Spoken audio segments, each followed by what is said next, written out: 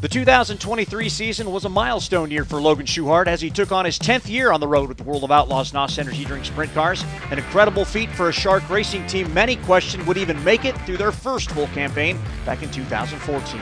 Schuchart and his crew came out swinging this year as the Shark Racer succeeded in Gator Country by winning the Federated Auto Parts Dirt Car Nationals Points Championship to take a second Big Gator back to the Pennsylvania shop consistency led to the title as Schuchart came away with three top fives in the event. After leaving Florida, the early part of the campaign had ups and downs for Logan. And then in early May, the Hanover, Pennsylvania native broke through into victory lane for the first time at the Eldora Speedway.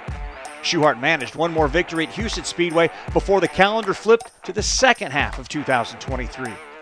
In July, Schuchart got his first Williams Grove World of Outlaws win after more than 50 tries by using a last lap pass on Brad Sweet coming to the checkered flag. August brought more ups and downs as the 1S team posted a trio of podiums, including a weekend sweep of wins in North Dakota, but also finished 20th or worse on three occasions.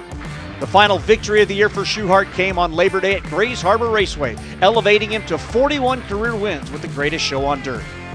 Schuchart rolled into the World Finals amid a fight for fifth in the standings. An eighth on the opening night and a third in the finale helped him hold off Donny Schatz to finish in the top five of the World of Outlaw points for the fourth time of his career.